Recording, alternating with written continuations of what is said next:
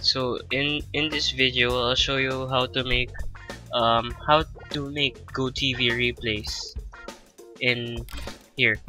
For you could only download GoTV replays on your competitive matches here here here. But you can't really download the the GoTV demos of casual demolition arms racer deathmatch. So how do you do that? So first um let's start up a map. Um random. No bots.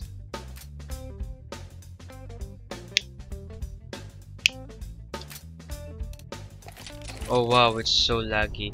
Nuke is so laggy. Okay so by the way Time to earn our stories. after you can't really download the GoTV demos of casual right?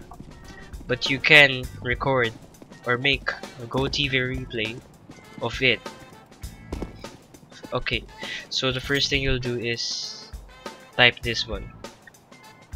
TV underscore enable one and then TV record nuke.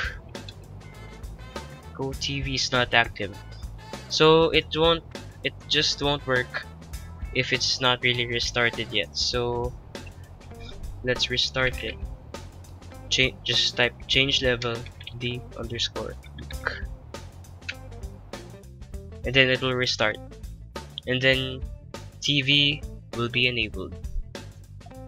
Okay so we're here. Now we can type in TV underscore record nuke. Let's go. boom. It's gonna record the whole thing. The go TV replay. Let's try to do some stuff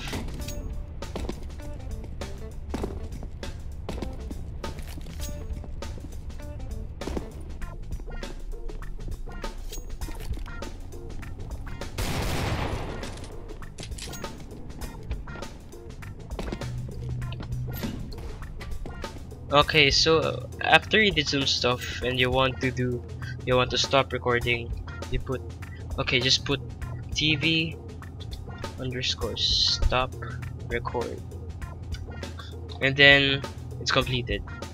So how do you open it? First, uh, exit your game and type in play demo and the name of your file. Nuke. We're here. Everything here. You can do anything. Anything you can do in the normal Go TV demo. This is me doing stuff. Yeah. I hope this tu- tutorial was helpful and please comment down if you want to learn more stuff about CSGO that I know and you don't know you might not know. Okay, thank you guys for watching. I'll see you guys on the next video.